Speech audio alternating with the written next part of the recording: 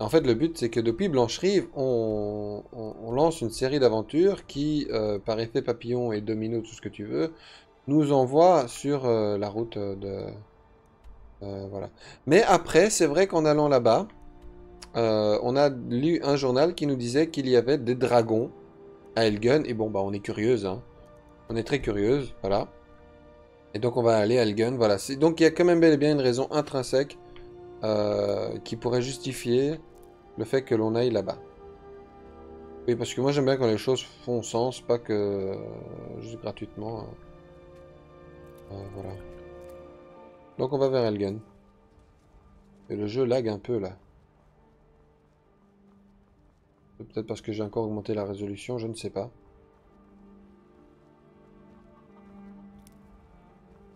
Pendant qu'on va à Elgen, hein, il faut bien qu'on raconte une petite histoire. Je vais vous raconter l'histoire des trois petits cochons, parce que j'ai vraiment rien d'autre à raconter que l'histoire des trois petits cochons. Donc, on a trois petits cochons, hein, qui sont là, voilà, tranquilles. Et euh, un jour, bah, ils deviennent grands. Et comme ils sont grands, ils doivent construire leur propre maison. Parce que les cochons, c'est bien connu, ce sont des très bons euh, menuisiers. Hein. Euh, un peuple de menuisiers très robustes, très fiers aussi. Et voilà. Et donc, euh, ils doivent euh, partir de la maison, construire leur propre maison, faire leur vie, quoi. C'est-à-dire que leur mère, elle en peut plus, elle en a marre de cuisiner pour eux tous les jours. Elle leur dit, écoutez, voilà, vous n'arrêtez pas de... Vous mangez trop, hein. Il y a déjà votre père, c'est trop, donc dehors, et allez vous faire une vie. Donc, euh, oh, il est beau ce ciel, dit. Donc, ils partent se faire une vie, là, et puis ils se trouvent chacun un boulot, et puis, bon, bah, ils doivent... quand ils ont le temps, là, sur des heures libres, bah, ils se construisent une maison. Mais bon, c'est sur leur temps libre qu'ils se construisent une maison. Hein. Tu sais comment c'est, hein. t'achètes un vieux trou, tu essayes de le réaménager, et euh, bah souvent ça te prend un temps dingue. Attends, pourquoi? Euh, Ça te prend un temps dingue, hein, et ça te prend beaucoup, beaucoup d'énergie aussi. Donc les trois petits cochons, ils sont là, ils prennent beaucoup de temps et d'énergie à construire leur maison. Cette pluie est magnifique, dit. Waouh, ça c'est un gros orage. Ok. Est-ce que j'ai lancé la cinématique d'Alduin Ah Oui, alors évidemment, là, je viens de transformer...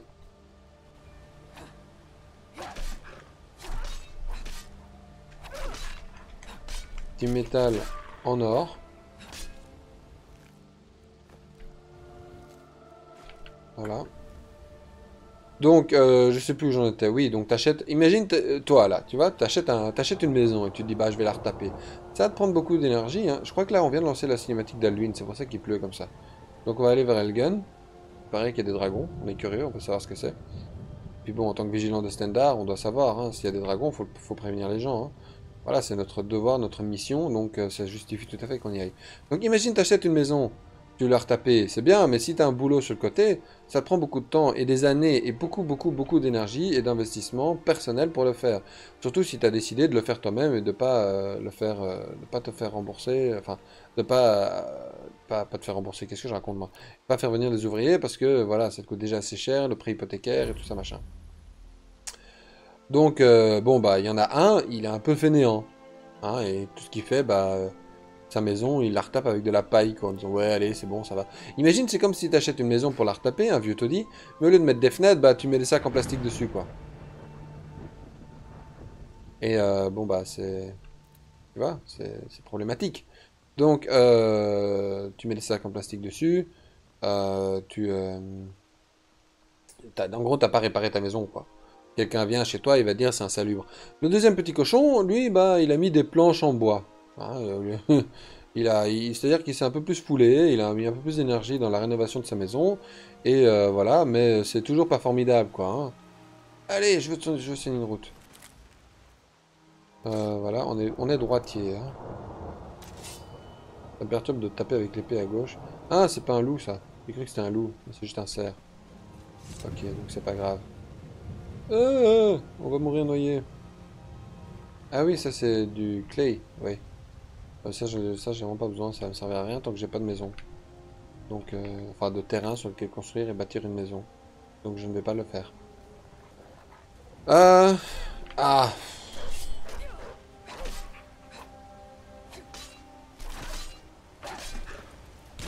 Oh, oh, oh, sale loup. Donc, voilà. Il rénove un peu mieux sa maison, le second, tu vois. Il a un peu, voilà, il met un peu plus d'efforts.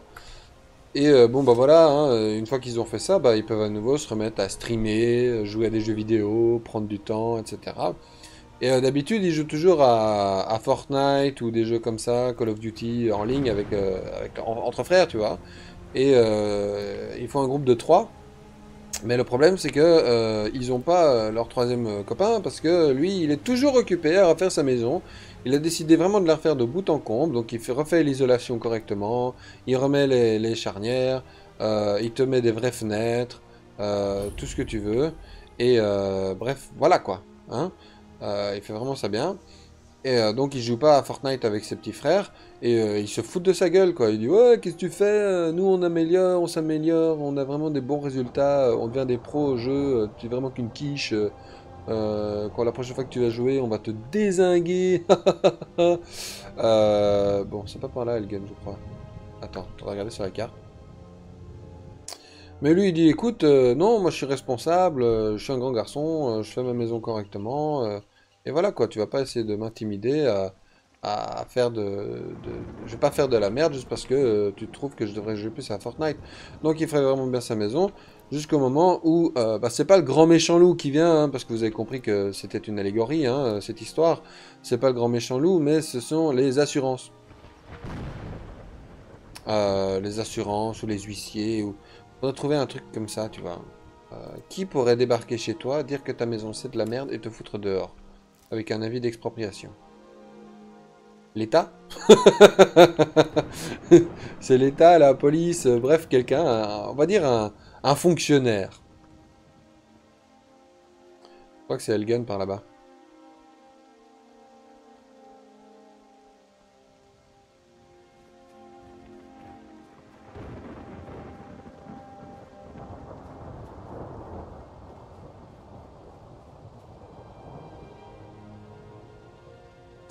Donc un fonctionnaire débarque euh, chez le petit cochon numéro 1, lui dit que sa maison est insalubre, qu'il peut pas vivre dedans, et il le met dehors. Waouh Waouh Ah, ça c'était beau, dit.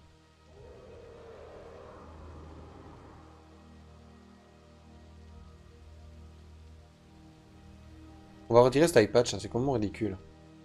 Euh, voilà.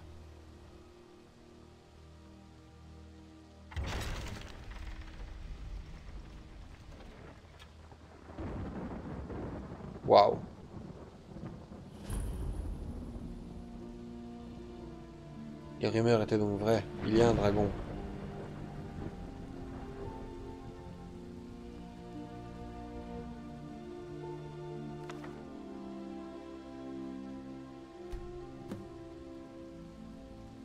Ah oui, donc en gros, euh, tu peux commencer la quête principale en lisant le journal. Et là, Adventurous Journal. Investigate the cave mentioned in the journal or warn the residents of Riverwood about the dragon attack. Ok, donc euh, super. Bon, je vais un peu lire ce qui se passe ici et on raconte l'histoire des trois petits cochons juste après. Hard to believe I filled up that whole journal already. I never realized how much of Cyrodiil I hadn't seen yet. So much diversity, so much distraction from the Great War. A lot of history has been lost there here forever. Donc en gros, il a exploré Cyrodiil et il a déjà complété son premier journal. Euh... The expedition is ending soon, and everyone will be returning home. I have one last task to perform before I do the same. I'll send the other journal ahead with my supplies and the artifacts we recovered. Donc il a déjà envoyé son journal et la plupart des choses qu'il a découvertes durant ses voyages euh, par la poste. Et lui, il a encore une dernière chose à faire. I've received word from my contacts in Scarry. Donc voilà pourquoi il arrive à bord de ciel. À la base, c'est un explorateur de Cyrodiil et il arrive à bord de ciel. All seem quiet for now. Probably for the first time since High King Torig was killed. Donc King Torig est mort et pour la première fois, néanmoins, les choses ont l'air calmes. Il y a une accalmie dans la situation politique. I should be able to make the crossing quietly enough during the night so long as there are no imperial patrols to deal with. So much for being discreet. I crossed the border near a small village called Helgen and made my way up to Darkwater Crossing. Unfortunately, I can't get back to my camp now because the area was, has filled with Imperial patrols. Donc il essaye de passer de la frontière de bord de ciel, euh, mais il n'y arrive pas, euh, parce qu'il y a, enfin, du moins, il... Darkwater Crossing, oui, ça c'est un, un, endroit où on peut passer la frontière, je crois. Enfin, si on a le, le mode Bruma. Euh, et donc, euh, mais il peut pas passer parce que, euh, enfin, il a du mal à passer, disons. Il arrive à passer, mais il a du mal parce qu'il y a des patrouilles impériales. It seems they are searching for someone, someone very important. If I'm not mistaken, someone they intend to ambush here. This could be the very thing I am seeking here in Skyrim. But crossing the border in the dead of night without passing through the checkpoints has turned out to be a very bad plan. I woke early this morning with an imperial sword pressed on my neck. To, a patrol found me camped under a rock outcropping on the edge of, a, of the volcanic marshes. I guess I wasn't as well hidden as thought. I have no idea where they've been taking us, but I've been stuffed into the back of a rickety old cart being pulled by an even more rickety looking old nag.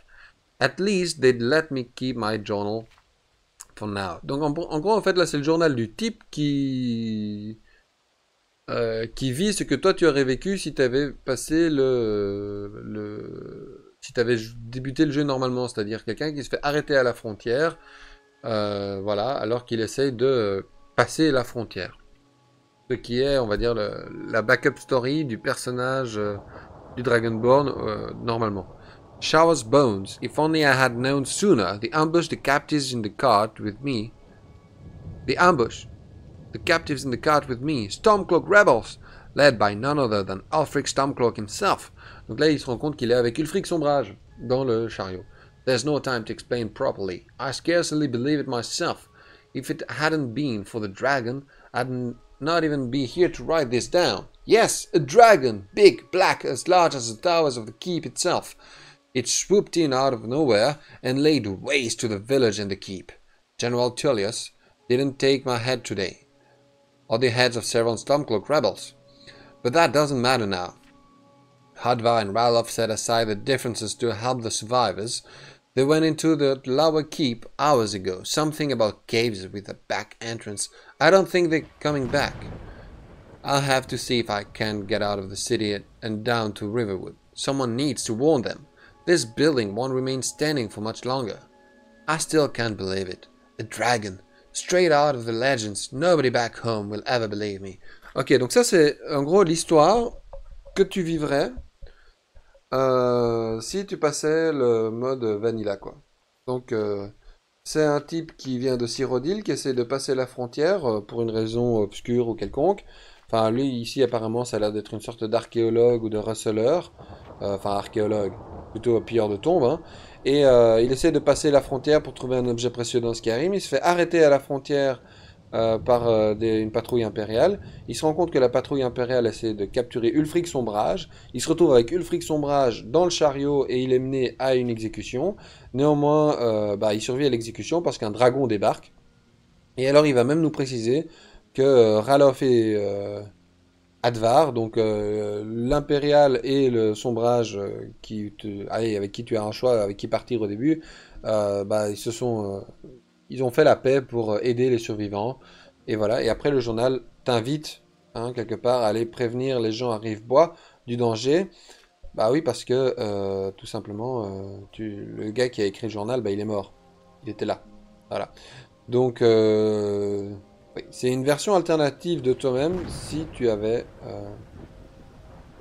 Alors qu'est-ce qu'il me dit? Pourquoi est-ce que la carte me dit d'aller là-bas? Investigate the cave mentioned in the journal. Ok, bon on va aller investiguer la... cave.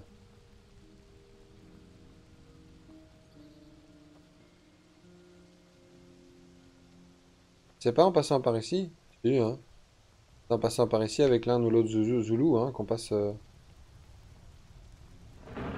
Voilà, donc on va rentrer dans la cave. Dans la grotte. C'est pas vraiment une cave. Enfin, si, il y a une cave, mais la cave mène à une grotte. Et le, mot cave, en anglais, veut plutôt dire grotte que cave. Euh, c'est comment, comment est-ce qu'on dirait The cellar, je dirais plutôt pour la, pour la cave. Hein, le the. En français, on dit cellier. Cellier, c'est vraiment en rapport avec euh, bah, le vin, quoi.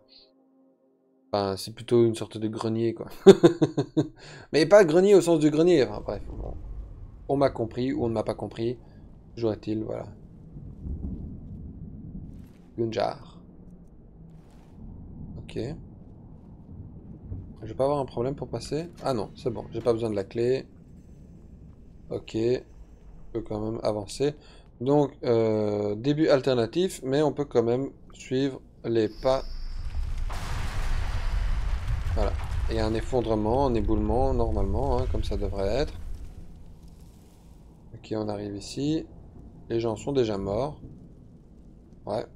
On va prendre les petites potions. Bon, je suis sûr que je serais capable de... En fait, je pourrais prendre ces trucs et après les, forger en autre chose. Euh, voilà, je vais pas le faire. Voilà. Ok, on avance.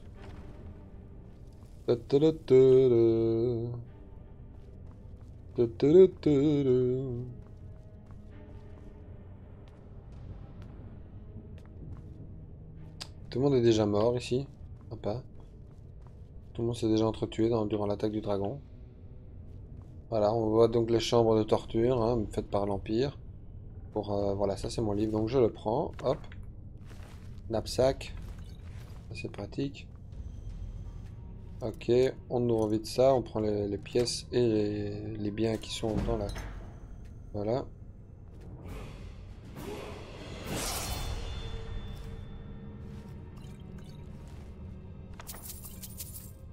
Alors on l'a déshabillé, il est tout nu, comme le gars de l'autre jour. On avance, on avance, on avance, on avance. Hop, hop, hop, hop, hop, hop, hop, hop, Oui, alors ça c'était le, délire un peu spécial où tu vois du sang sous le squelette. À noter que euh, j'ai envie de commenter ça. Le mec, c'est un squelette. Tu sais ce que ça veut dire? Hein, Ça veut dire qu'il est mort et il a eu le temps, tout le temps de se décomposer. Tu sais comment ça pue un squelette qui décompose? Ça pue la rage, ça pue littéralement la mort. Donc quand on a des squelettes comme ça, ça veut dire que les gars ont eu le temps de se décomposer et que ça a pué, mais d'une horreur pas possible et interminable dans cet endroit avant qu'ils en soient à cet état-là, quoi. Ça veut dire que, bon, bah, ça sent pas bon, quoi. Littéralement.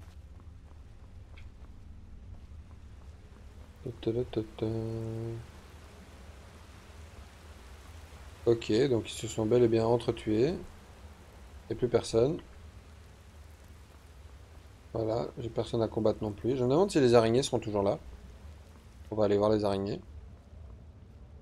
Ah oui. Ok. Je sors par où moi alors? Euh, Pas par là, pas par là, pas par là. C'est pas par là la sortie normalement? C'est pas tout droit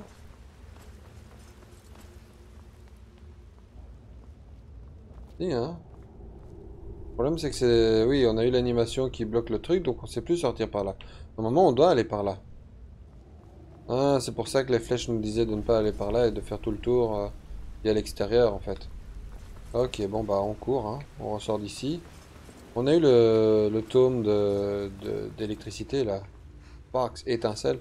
Donc ça, c'est pas mal, parce qu'on va pouvoir s'en servir.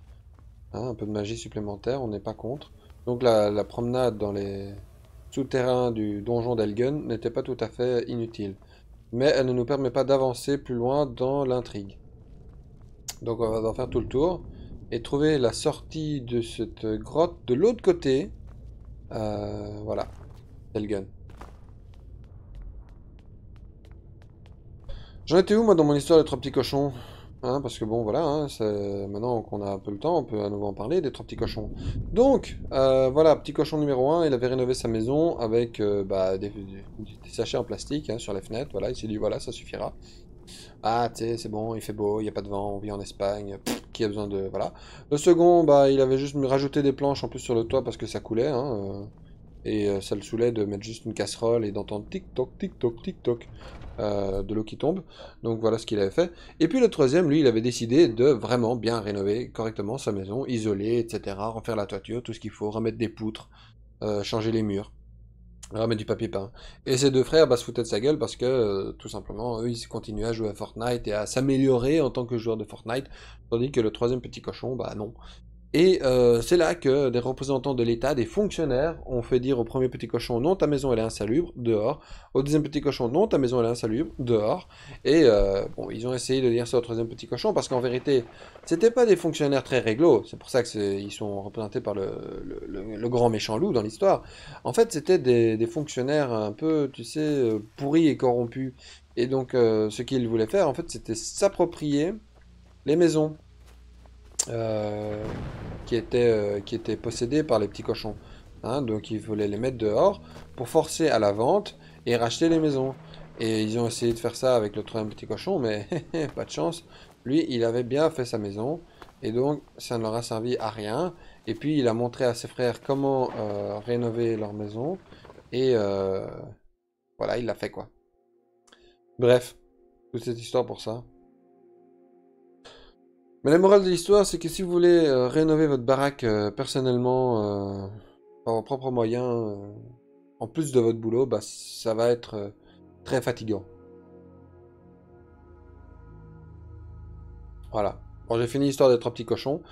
c'est quoi la prochaine histoire? Le petit chaperon rouge ou quoi? Bon, on est dans la grotte là. Et apparemment, il y a un autre élément d'enquête euh, à résoudre avant de pouvoir avancer. Est-ce qu'on va retrouver l'un des...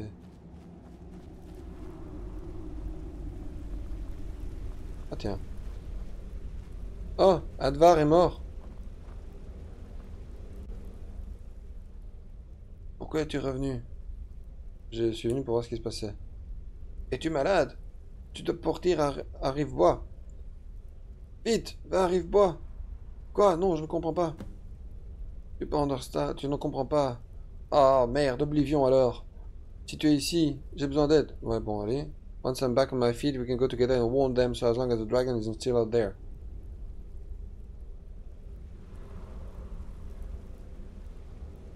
Il pas l'autre? Ah si, il l'autre aussi. Hein. Ralof. Il me dit la même chose. Pourquoi t'es revenu?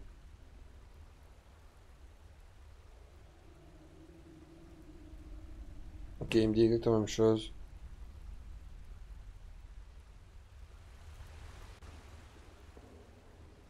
On peut lui donner une potion.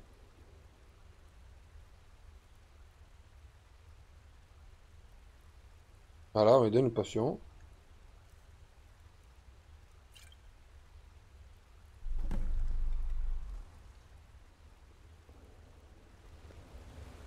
On va essayer de voir si on peut sauver l'autre aussi. Hein. Ah, il a disparu Ah, il a disparu. Ok, donc on a sauvé machin, mais on n'a pas sauvé l'autre. Ah, bon, zut. Bon. En fait, on devait choisir qui on voulait sauver, et l'autre euh, disparaissait tout simplement. Ce qui veut peut-être pas dire qu'il est mort. Hein. Bon, on, est, on part avec le sombrage, en gros. Et on est reparti.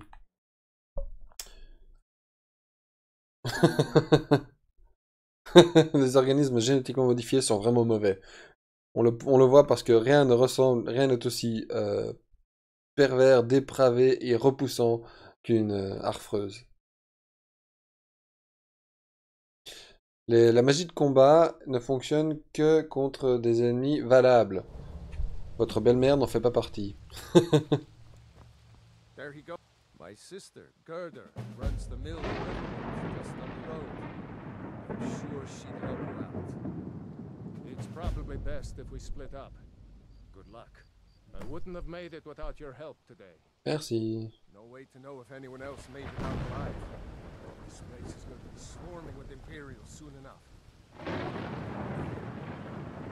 My sister, Gerda, runs the mill in Riverwood, just up the road. I'm sure she'd help you out. It's probably best if we split up. Tu viens de te répéter là mon chouchou. Hein. Bon donc euh, on va le suivre. Parce que ça c'est quand même le moment un peu suspect du jeu où euh, il te dit euh, il faut se séparer mais après quand même il, t'attend.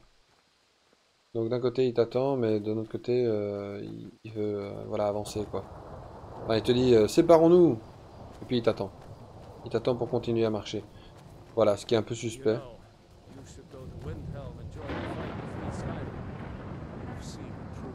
Bon, et maintenant, voilà, on a réussi à introduire les dragons dans notre histoire de façon presque organique. Bien que l'on n'ait pas commencé euh, à Elgun, comme, euh, voilà, comme le veut le, jeu normalement. Et, euh, et, voilà. Et on va suivre le bon vieux petit Ralof jusque chez sa sœur, hein, qui va nous raconter des trucs. Et on va pouvoir après faire les, missions. Oui, c'est bon, je te suis. Allez, avance. Oui, oui. Je te jure. Ah là, il va nous faire un petit split, un petit speech sur, euh, ça là. On voit à peine quelque chose, hein. fait tellement dégueulasse là. Vraiment une météo de merde, hein. Déjà qu'on est confiné à la maison, le seul moyen de sortir c'est de, jouer à Skyrim ou à Red Dead Redemption. Et après t'as droit à ça quoi. Bon mais sympa hein. Veux un peu de soleil, un peu de verdure. Prendre l'air quoi. Bon là il va nous faire un speech sur les pierres levées. Euh, puis le truc c'est que tu dois les toucher pour qu'il arrête de faire son speech et qu'il continue la route avec toi. Alors j'avais un mode euh, qui faisait en sorte que les pierres levées avaient disparu. C'était très embêtant. Bon, on va prendre le magicien ou le guerrier. Il pas mal de magie quand même dans ce, dans ce gameplay-ci. Euh, bah allez, on va prendre le magicien. Voilà. Hop. Ouais, t'as vu euh, si tu fais le guerrier, il fait ouais, c'est bien. Si tu fais le mage, il fait ah, qu'est-ce que. Ouais, bon, chacun pour ça. Et quand tu fais le voleur, et franchement, là, il, commence à avoir des doutes sur ta personnalité. Et il se demande si tu es vraiment quelqu'un de fréquentable. Mais il va quand même te conduire chez sa sœur. Hein. Et après, ta, sa sœur va te donner la moitié de ses ressources. pour que tu puisses continuer le voyage. Voilà. Il fait vraiment dégueulasse. Hein. Et quelle météo de merde. Cette pluie là qui tombe tout à fait drue.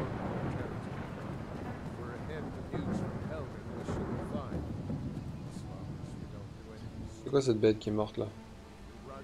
Ah bah oui, c'est les loups qui m'ont attaqué là tantôt. Et que j'ai tué. Enfin, je crois. Bon, je prends leur fourrure parce que ça peut toujours être utile. Grâce à mes modes, je peux en faire euh, tout ce que je veux après. Des fleurs Yeah Mais quel temps de merde Bon, tu viens, euh, Ralof, là? Pas que tu traînes, mais euh, toi ou promener mon chien, ça devient pareil ici, hein Nom d'une pipe. Je te jure, c'est comme quand je prends mon chien et qu'il est en train de sniffer un truc, et puis je suis 20 mètres devant, et puis je l'engueule. Allez, Nanou, au pied, merde Parce que...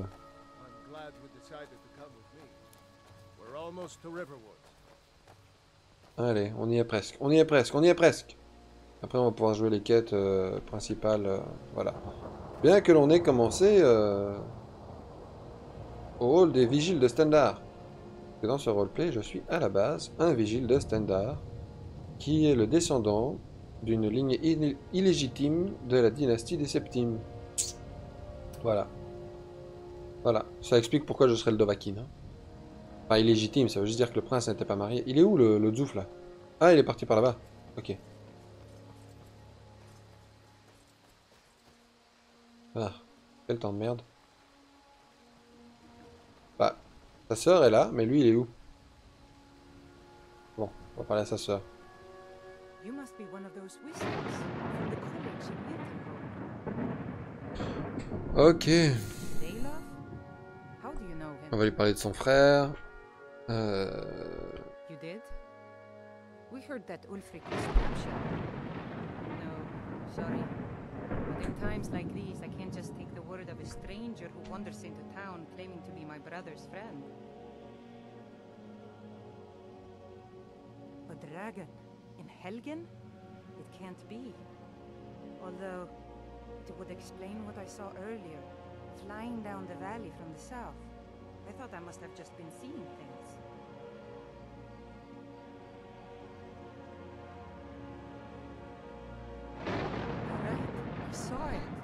Elle veut pas me croire parce que Ralof est trop lent, il nous a pas rattrapé, donc elle me croit pas. C'est la première fois que j'ai ce dialogue, parce que d'habitude je reste toujours avec Ralof. Ah You've got the look of someone who's just seen a dragon. Things just go from bad to worse. First the war, now dragons. What's this world coming to? D'abord Trump, puis le coronavirus. aïe aïe. We need to get word to Jarl Balgruuf in Whiterun to send whatever troops he can. If you Ta ta ta ta ta. Ouais, j'ai eu un petit stress, donc j'ai testé vite fait le micro. Ok. Donc maintenant, on peut directement aller... Ah bah voilà, son frère est là.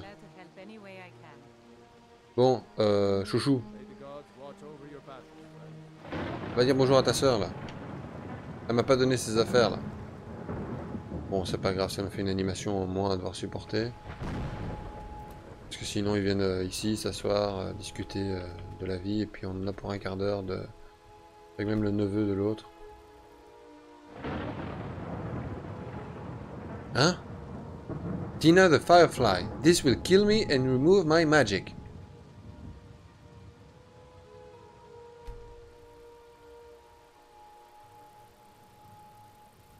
Ok. Ça, c'est la première fois que je vois ça. Donc, on a un bug. Enfin, un bug. En français, une luciole. Qui s'appelle le Firefly. Et en plus, il te parle. UFO for deletion. C'est quoi ce truc? C'est quoi ce truc? Qu'est-ce que j'ai fait là?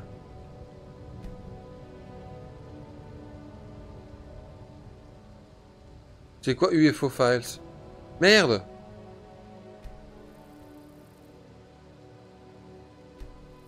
C'est quoi ce truc?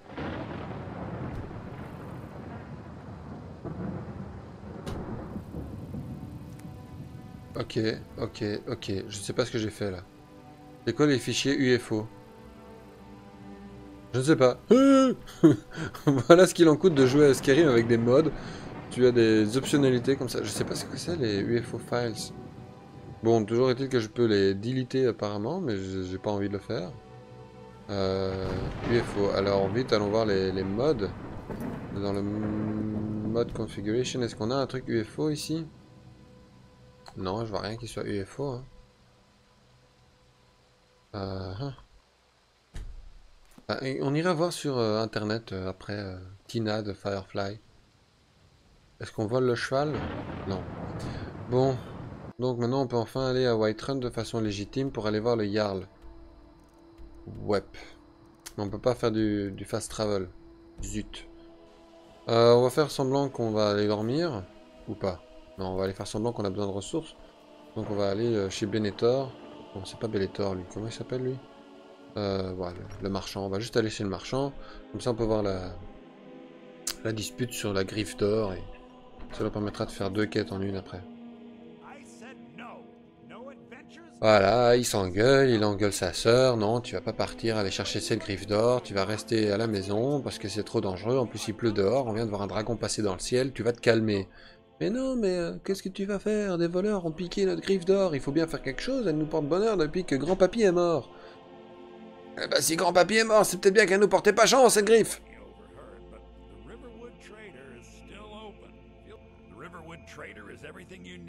Ah, ok, on va lui demander ce qui s'est passé. Il va nous dire que voilà, des voleurs ont pris les trucs. Ah, ta, ta, ta, et on va l'aider. Voilà. Voilà. Donc on va pouvoir aller chercher la griffe d'or.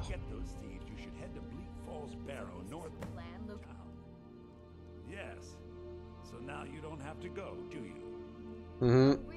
Well, I think your new helper here needs a guide.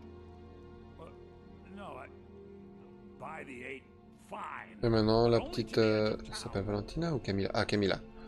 Va nous aider, elle va nous montrer la sortie du village. Voilà, parce qu'on on pourrait toujours se perdre. hein. Ce village consiste en une grande rue et une petite rue parallèle, mais on pourrait se perdre. Ah oui. hein. Donc heureusement que Camilla vient avec nous pour nous montrer. Ah, tu vois, on dirait une cité de, western, par ouest, avec juste une rue principale. Voilà. Mais euh, où sont les amoureux là?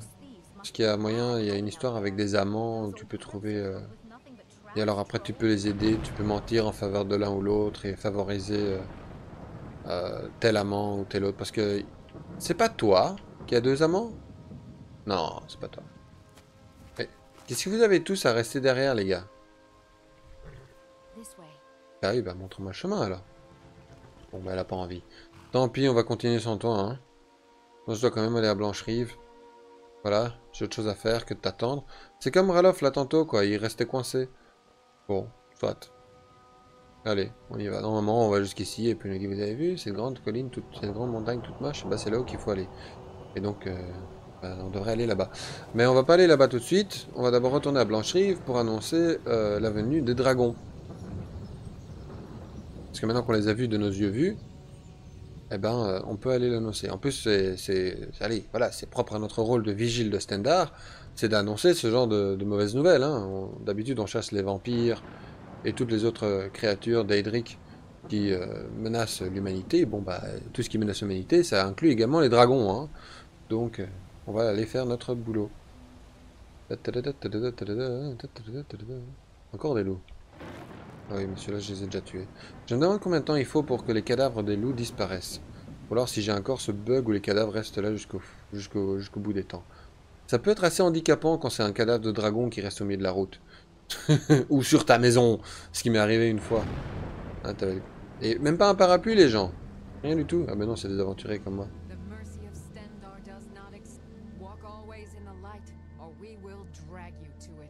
Oui, mais je suis un, des tiens, hein. je suis aussi un vigile de Stendar.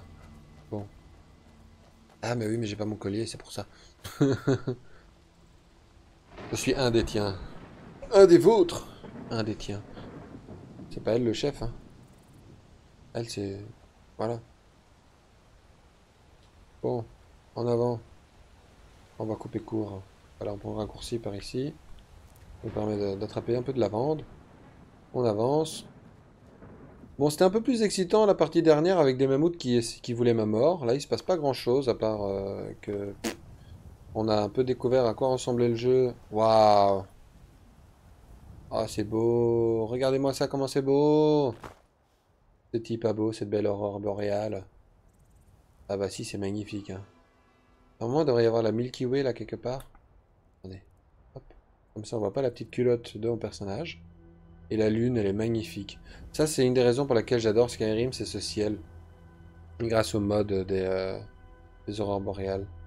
C'est superbe, quoi. Waouh, ça c'est vraiment un paysage euh, magnifique. Allez, en avant. On n'a pas que ça à faire, il faut vite partir à l'aventure pour avoir des mammouths qui nous pourchassent. Ah,